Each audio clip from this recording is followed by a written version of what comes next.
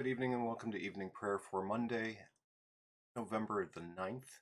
Today is the day the church commemorates the life of Martin Chemnitz, pastor and confessor. In the name of the Father, and of the Son, and of the Holy Spirit. Amen. Let my prayer rise before you as incense, the lifting up of my hands is the evening sacrifice.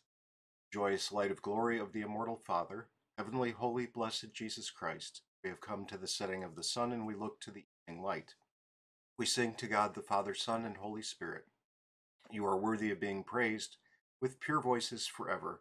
O Son of God, O Giver of life, the universe proclaims your glory. The Lord Almighty grant us a quiet night and peace at the last. Amen. It is good to give thanks to the Lord, sing praise to your name, O Most High, to herald your love in the morning, your truth at the close of the day. Praise to you, O Christ. O come, let us worship him.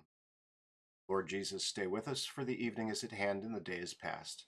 Be our constant companion on the way, kindle our hearts, and awaken hope among us, that we may recognize you as you are revealed in the Scriptures and in the breaking of the bread. Grant this for your name's sake. Amen. Praise the Lord, for it is good to sing praises to our God. For it is pleasant, and a song of praise is fitting. The Lord builds up Jerusalem, he gathers the outcasts of Israel. He heals the broken-hearted, and binds up their wounds. He determines the number of the stars, he gives to all of them their names. Great is our Lord and abundant in power. His understanding is beyond measure. The Lord lifts up the humble, he casts the wicked to the ground. Sing to the Lord with thanksgiving.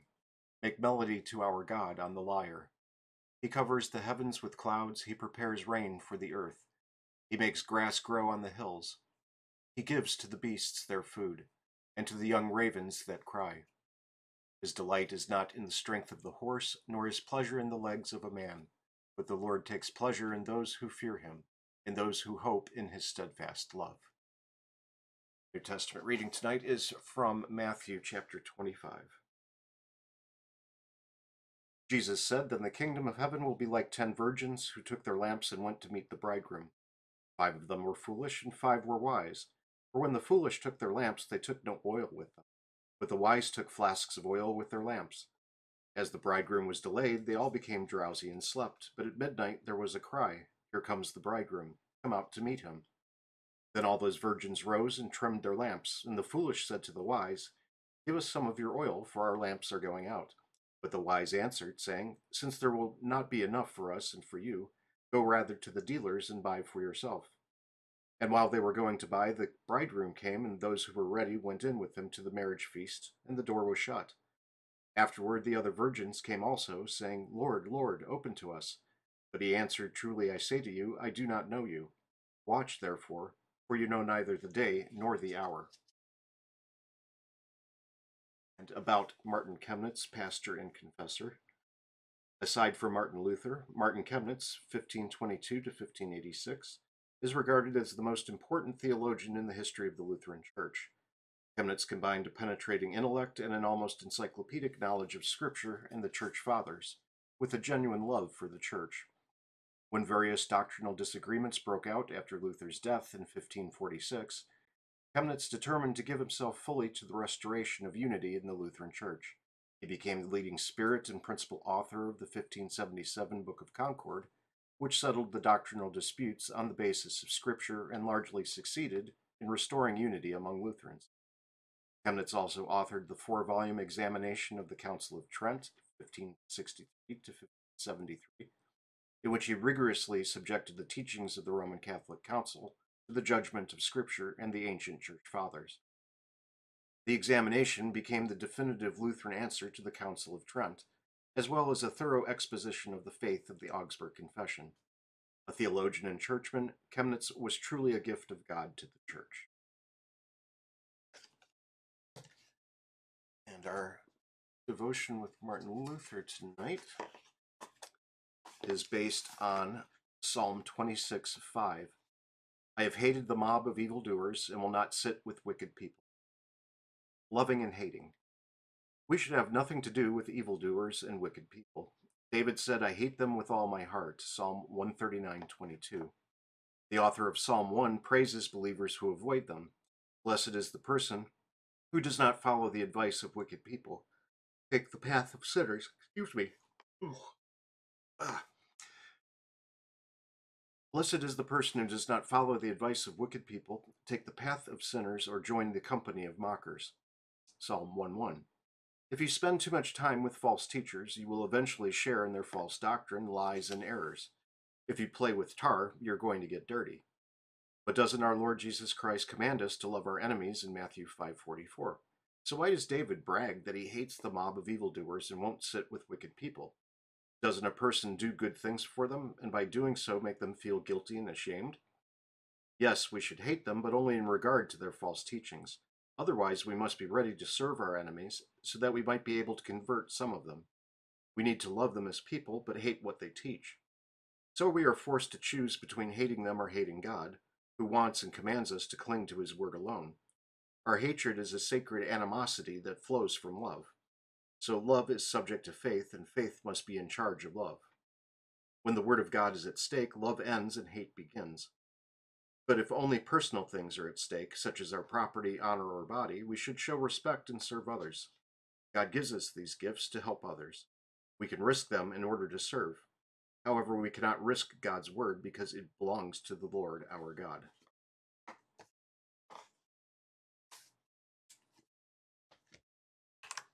We join in the Apostles' Creed in the Lord's Prayer. I believe in God the Father Almighty, maker of heaven and earth, and in Jesus Christ, his only Son, our Lord, who was conceived by the Holy Spirit, born of the Virgin Mary, suffered under Pontius Pilate, was crucified, died, and was buried. He descended into hell. The third day he rose again from the dead.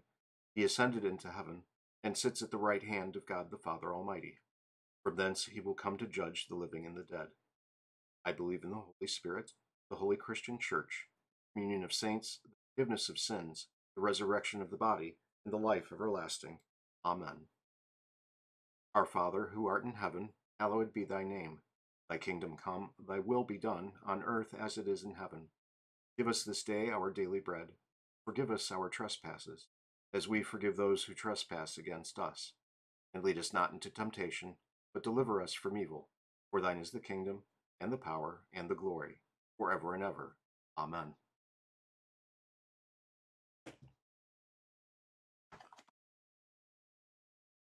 O Lord, merciful and holy bridegroom, we grieve the fall of your church. It is our fault that the beauty of your bride is no longer recognized. Therefore, we pray you, give and increase in us faith, love, and hope in you. Root out of us all sins and vice, all strife, all disbelief, all error and heresy. Rebuke the erring, convert the unbelievers. Bring the rebellious again to the unity of the Christian Church, and show them the light of your truth. Protect our shepherd from all danger of body and soul. Bless all pastors and those who administer in the church and the building of your congregation. Grant them success in all things. Equip your whole church with the power and proof of the holy faith. Stand by your witnesses among the nations and further the course of your gospel in all the world. Fill all government with the fear of you and let their ruling serve to foster and preserve peace. Have mercy on our people and our country. Let the youth be brought up in discipline and in a right knowledge of you, so that they may recognize your law and the way of your salvation. Give constancy and loyalty to all pious teachers. Comfort all the troubled and sorrowful. Impart health of body and soul to the sick. Grant to all pregnant women, according to your mercy, a happy result in their childbearing. To the needy, give bodily and spiritually, according to your good pleasure. Let those who travel be commended to the protection of your holy angels, and be a strong help to all who need. For the sake of your holy wounds, O Jesus. Amen.